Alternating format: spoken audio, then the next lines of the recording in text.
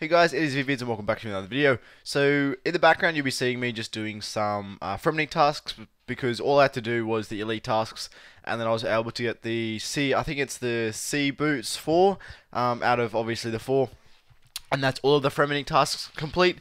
Now yesterday I also completed all of the desert tasks obviously for the completionist cape because um, one of the main uh, completionist cape requirements uh, the completion, well, includes the completion of every single task uh, diary in the game. So I'm I'm trying to kind of tick off all of those tasks in game. So I don't have to do the tasks, obviously. But yesterday, like I said just before, I did all the desert tasks apart from one, and that one task is the Dominion Tower one. So that is going to be the most the most painful task out of all the desert tasks. Uh, just simply being, well, just simply being because it's gonna be, it's gonna take so long because you've got to complete like everything in the Dominion Tower.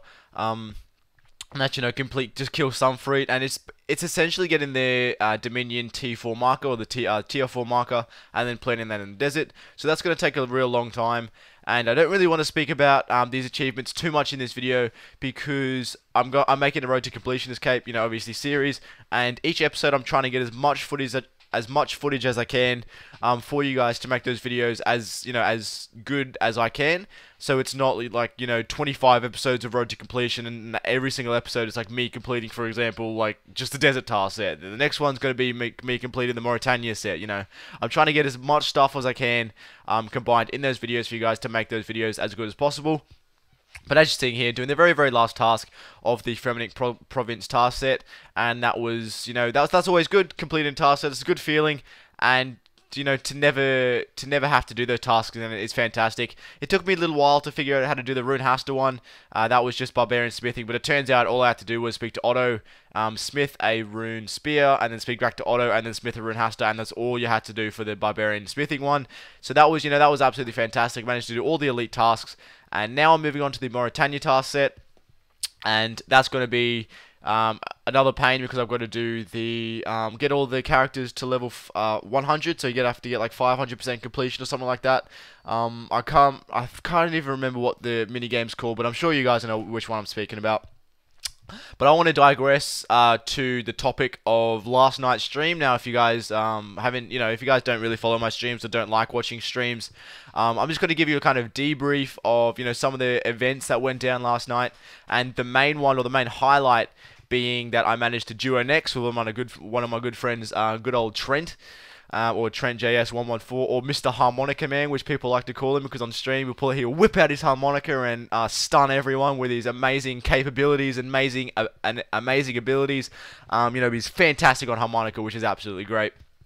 Uh, but about a month ago, or I, I don't think it's a month ago. It would have been about two or three weeks ago. I that was when Trent actually first stepped into the Nex room, and I was teaching how to Nex, obviously with the shadow phase, the um, the shadow phase, what is it? The smoke phase, the ice phase, and the blood phase. I was teaching him all the special abilities that Nex has um, throughout those four phases, and then obviously the Zaros phase, which is the fifth phase.